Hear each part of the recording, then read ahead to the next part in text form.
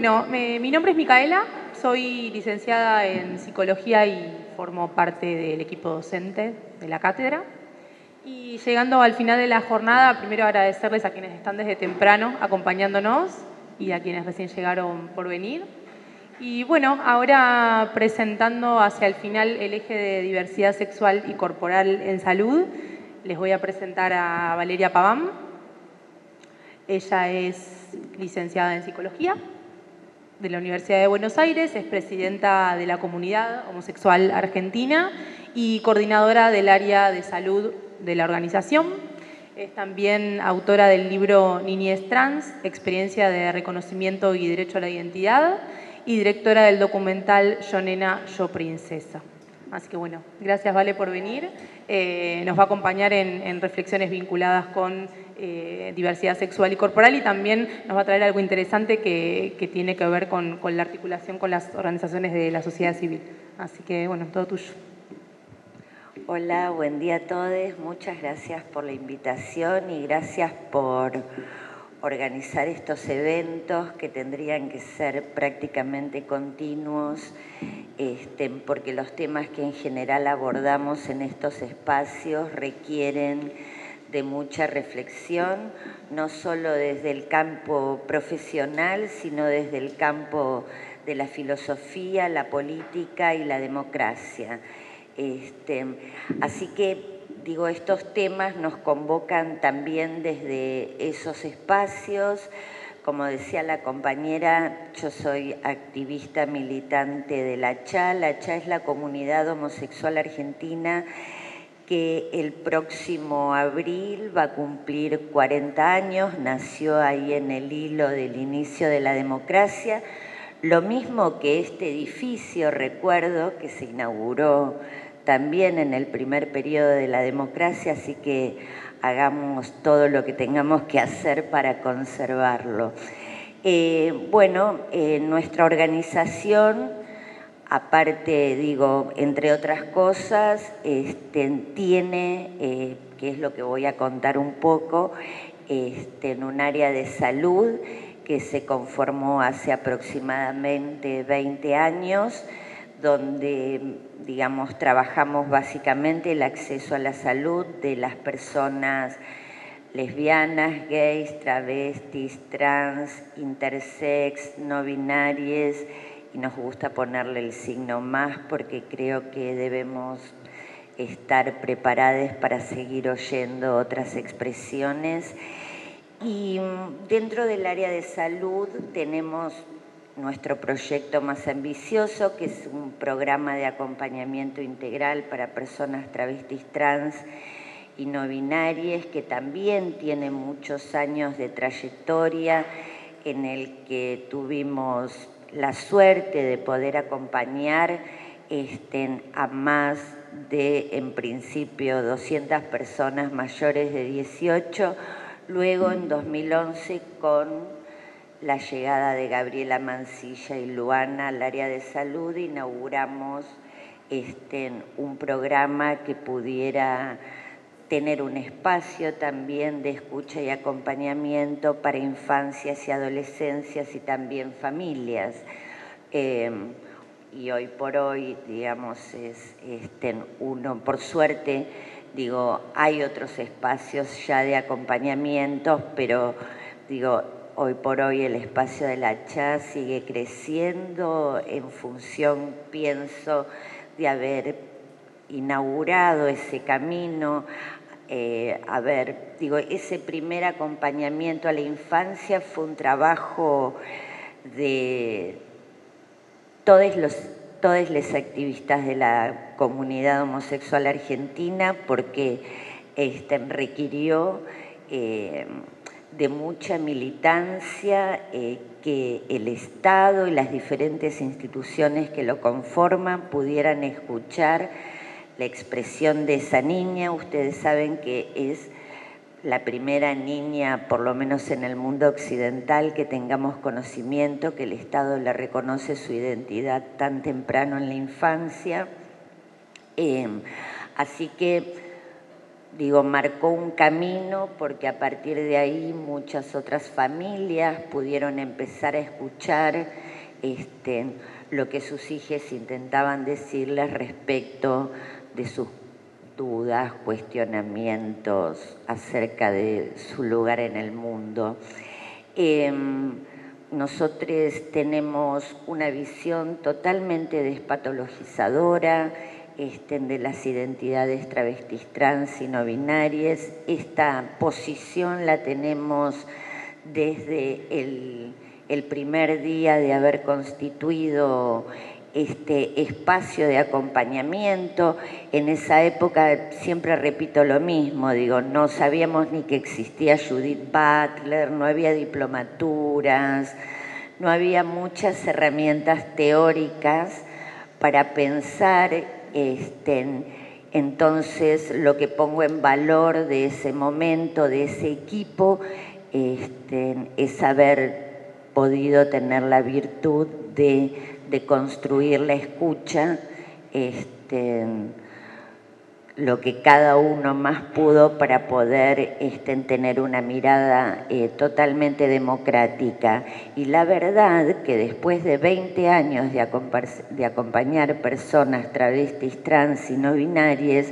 no nos hemos encontrado ni con perversiones, ni con psicosis, etcétera, etcétera, ni con ninguna de las categorías del DSM, digo, con lo que muchas veces nos quieren confundir. Por eso, este, en este momento sobre todo creo que es importante no solo, como decía, la reflexión profesional por el lugar que nos toca ocupar como la escucha, este, sino también desde un lugar de una sociedad democrática, digamos que probablemente no, no se bajen estas leyes que hemos podido conseguir desde el 2010 en adelante, que inaugura en realidad antes con la unión civil en la ciudad, pero después matrimonio igualitario, ley de identidad de género, este, en cupo laboral, que esta es la más nuevita, eh, probablemente no se bajen estas leyes, pero lo que sí suceda es que no habrá ningún tipo de política, digamos, para que para democratizar estos derechos, digo, enunciar derechos no sirve de nada si el Estado no digamos, no planifica estrategias en políticas públicas para que estos derechos lleguen efectivamente eh, a las personas para las que fueron legislados. Eh, actualmente en nuestra organización, por ejemplo, recibimos, a veces recibimos este, personas que no saben que existe la ley de identidad de género, digo, ya eh, partiendo de una falta de políticas de comunicación, hemos llegado hasta aquí, hemos conseguido un montón, digamos que hoy un montón de niñas y adolescentes puedan eh, ser escuchadas, acompañadas en su necesidad y en su deseo no es menor, pero también sabemos que todavía hay mucha, mucha gente que vivió oprimida porque este, ya que su contexto familiar o su contexto social no le permite expresarse Así que en cuanto, digamos, más reflexionemos en función de la democracia, este, del ser y del estar en el mundo, eh, más posibilidades tendrán estas personas de desarrollar su vida. ¿no? Eh, ustedes saben que hay como un, número establecido de esperanza de vida de las personas travestis trans eh, que está en 35-40 y es un número terrible, la verdad, porque eh,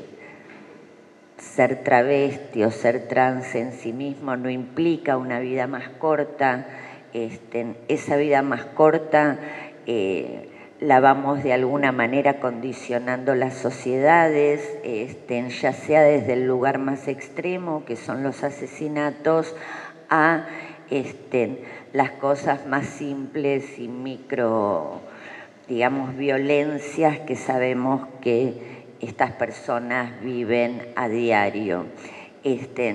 y notamos que en esta última época, con, con, la apertura de la tranquera, ¿no? en función de que la gente tiene más necesidad de expresarse, en función del odio que le provoca otras formas de ser y de estar en el mundo, este, quedó habilitado, así que también es esa otra alarma como para para trabajar en nuestro contexto en función de poder reflexionar estas cuestiones. Em, y un poco para ir al tema que me convoca en general discutir, este, en que es en función de la ley de identidad de género, digo que ahí también pensamos que eh, tanto las sociedades como eh, las instituciones que lo forman han podido reflexionar hasta un punto. Pero hay algo de ese texto en sus primeros artículos donde hace referencia de alguna forma a la corporalidad, donde dice que cada persona puede este, realizar algún cambio corporal si así este, lo deseara o lo necesitara, bueno, como sabemos existe esa posibilidad. Pero ese puede en general no nos funciona. ¿Y por qué no nos funciona? Porque nos damos cuenta que ya a 12, casi 13 años de sancionada la ley de identidad de género, todavía las corporalidades en general y particularmente eh, las genitalidades en particular funcionan como obstáculo este, a la hora de integrar, digamos, estas identidades a los distintos espacios e inclusive a cada paradigma personal. Eh, y entonces en este sentido nos parece que es esto lo que hay que reflexionar, porque después de acompañar muchas personas nos dimos cuenta que se demandan muchos tratamientos y cirugías no en función de una necesidad y un deseo personal, sino justamente en función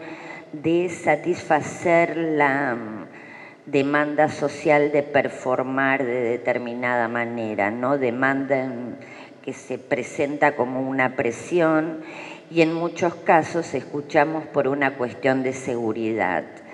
Este, y esto nos parece muy complicado, la verdad, cuando estamos dando este, un derecho,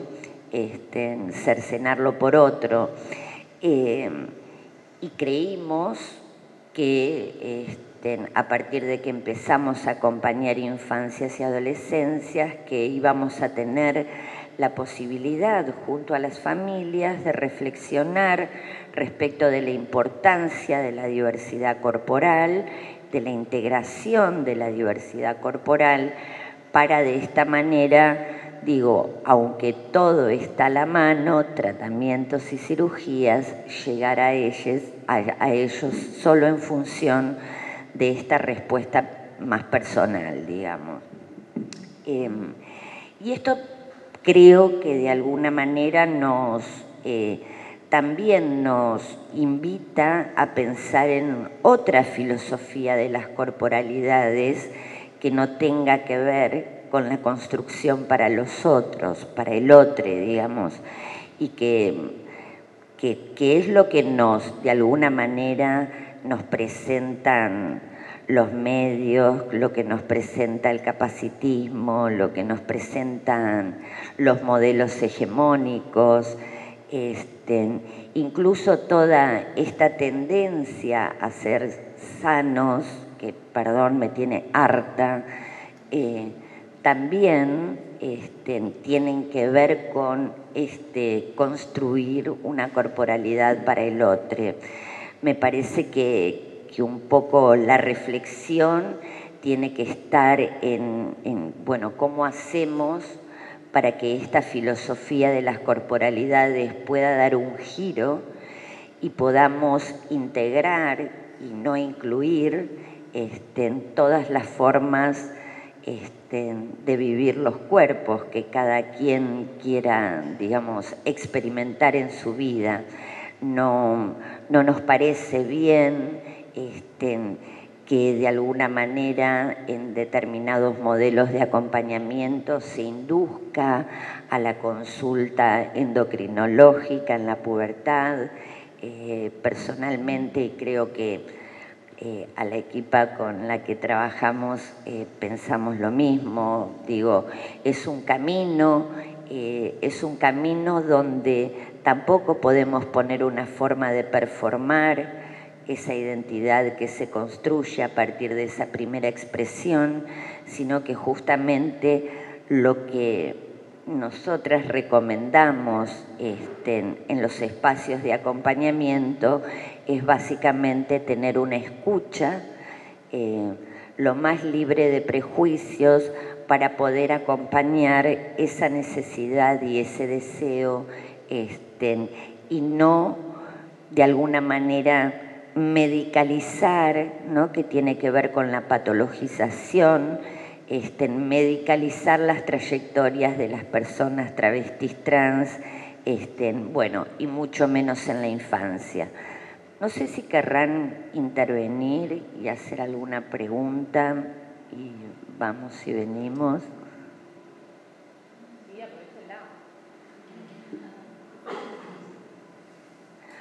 porque si no me parece que soy medio un plomo hablando solo.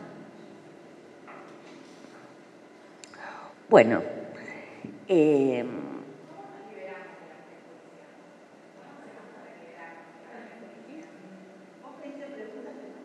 sí. Bueno, sabemos que nada se deconstruye al ciento por ciento, pero yo creo que esto tiene que ver con una apertura democrática, ¿no? De poder pensar qué derecho me asiste para decir quién es apto para la vida, para el amor, para el trabajo. Digo, por ahí ahora tenemos que volver a pelear otra vez por la identidad de género, pero nosotros ya estábamos trabajando el derecho del acceso al deporte, a evitar el espacio libre este, de violencia y discriminación, a participar en política, eh, a intervenir con una perspectiva este, en, las, en las diferentes profesiones. Digo, estábamos, pensábamos que teníamos ya como alguna, nunca nada es completo, por supuesto, digo, y siempre habrá personas que no lo entiendan y que se resistan, pero había como una especie de acuerdo tácito respecto de esta cuestión básica que, de pensarlo como un derecho humano. Este, entonces, a partir de ahí, digo, desde las... Nosotros trabajamos este, no solo con eh, las personas que llegan a nuestras organizaciones, sino con muchas organizaciones. La CHAF forma parte de un frente que se llama Orgullo y Lucha, que está formado por más de 50 organizaciones este, LGTB, así que estamos como, tenemos como mucho vínculo con la sociedad civil, ya sea directamente o a través de nuestros compañeros de lucha y eh, bueno, nada, y estábamos trabajando por otras cuestiones, este, por un acceso a la salud más democrático, este, aún, pero bueno, ahora sabemos que este, sabemos efectivamente que no hay, por ejemplo, para las personas que eh, siguen tratamientos hormonales, por ejemplo, que hay hormonas, creemos que para el mes que viene y luego ya no habrá más en el servicio público. Por lo tanto, estos son tratamientos que probablemente se corten porque no se han iniciado nuevas licitaciones. Digamos que eh, el presupuesto que está determinado en salud para la dirección de VIH, solo se ejecutó el 5%. este, hasta el momento, muchas de las direcciones que nos importan, como la de insumos, como la de VIH y otras que ahora no me vienen, este, están aún sin dirección, con lo cual las organizaciones no tenemos con quién articular lo que, digamos, hay cosas que a las organizaciones nos exceden, por más que, digo, tengamos un área de salud, es un área de salud básicamente sí, aunque este último año pasado pudimos este, incorporar nutricionista, pediatra, eh, pero nos cuesta mucho que otras especialidades eh, médicas donen sus horas profesionales. Em, pero bueno, hay muchas cosas que nos desbordan y para eso tenemos eh, redes armadas con la salud pública, que bueno, que en este momento muchas veces no, no logramos que nos respondan, así que no es menor todo esto, digamos, que, estamos planteando y no es menor este retroceso en la reflexión, porque digo, cuando estábamos pensando en el acceso al deporte, que por ahí nos parece una boludez, pero no lo es, este, sobre todo para niñas y adolescentes, ahora ya vamos a tener que pensar cómo esa gente va a acceder al derecho a la salud. Este, con lo cual, eh, ya ni me acuerdo que me preguntaste. Ah, entonces,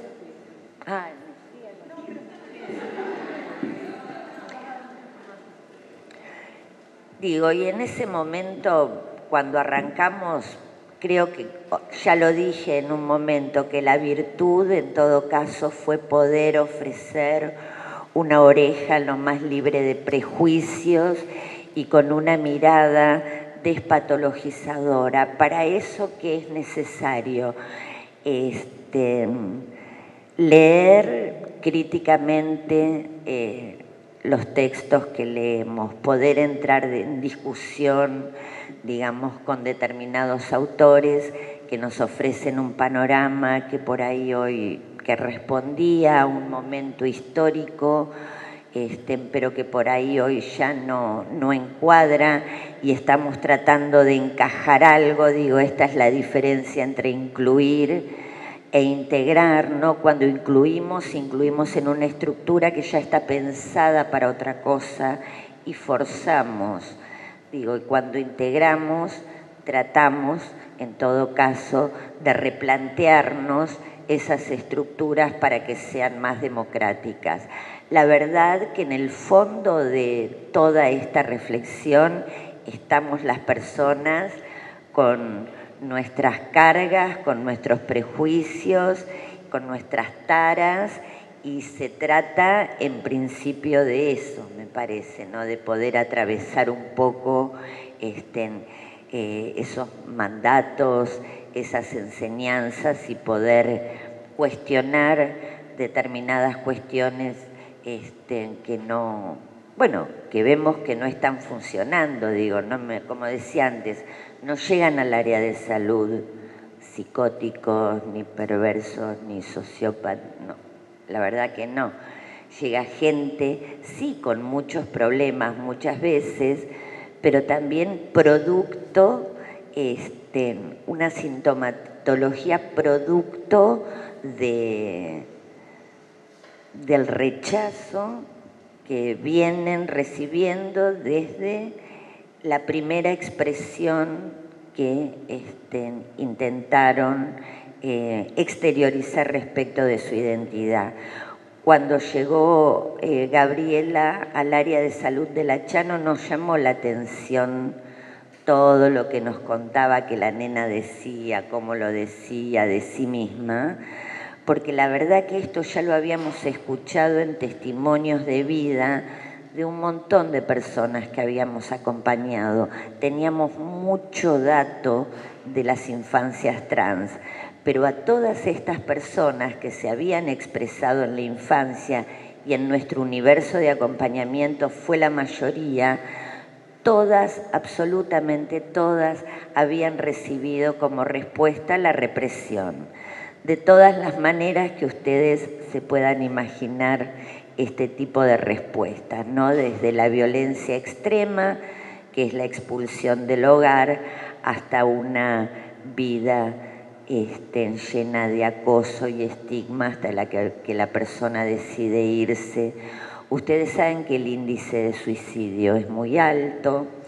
que este índice alto tiene un número alto también de adolescentes, que eso es un tema que por ahí también nos negamos a reflexionar porque es feo pensar suicidio y adolescencia, pero son datos que tenemos que que prestarle atención. Hay un informe, creo que de UNESCO, que es de, hace un par de años, que es, es muy interesante de leer. Eh, y la verdad es que una vez que te expulsa tu familia,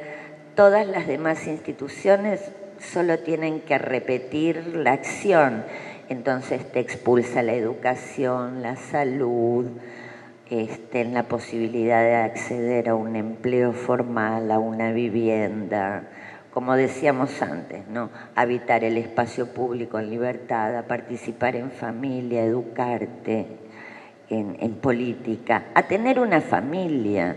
Nos parece raro, digamos, que una persona trans este, quiera tener una familia. Bueno, son, viste, personas como cualquiera, hay muchas que quieren tener familias, otras que no quieren. Bueno, se trata de poder ampliar un poco más nuestro universo del binario dicotómico que tantos problemas nos ha traído hasta ahora, poder pensar, digo, poder pensarnos incluso a nosotros. A veces digo, yo soy una chica grande ya pienso muchas veces si eh, cuando yo fui adolescente o que hubiera tenido tantas herramientas como hay ahora para pensar el ser y el estar en el mundo, yo no sé cuál habría sido mi vida ni la de muchos que me rodean. Entonces, digo, ¿por qué negarle a otros Digo, si nos sentimos cómodos con el lugar que nos asignaron y nos desarrollamos, perfecto. Pero ¿por qué negarle a otros la posibilidad de encontrar su lugar cómodo? Digo, nadie puede vivir en un no lugar. Otra de los problemas de la multiplicidad de sintomatología que se desarrolla en las personas travestis trans en su trayecto es que es muy difícil vivir en un no lugar porque si yo te digo quién soy, vos no me lees. Y si yo la careteo, me estoy traicionando a mí misma. Entonces es complicadísimo eh, eso, desarrollarse en las distintas áreas de la vida cuando uno no tiene mínimamente este, algún indicio de del mecanismo de defensa más importante que tenemos, que es quién soy. ¿No? Este, así que imagínense, mucho, mucho del acompañamiento tiene que ver con el yo, ¿no? Con ayudarle a la persona este, a plantarse en el mundo como quien es. Siempre es lindo escucharte, Vale, gracias. No sé si alguien tiene ganas de hacer algún comentario, alguna pregunta, algo. ¿Es compas? Bueno, entonces le agradecemos muchísimo a, Vale por venir. En particular yo celebro no solo que seas una referenta para nuestra comunidad, sino eh, que estemos acá hoy en la Facultad de Psicología hablando de esto desde temprano, pensando en, de qué forma los psicólogos podemos tomar una posición, ya no solo en el consultorio y en la individualidad, sino eh, en un equipo y, abordando estas cuestiones desde un eje despatologizador. Así que gracias y bueno, Gaby va a cerrar la jornada.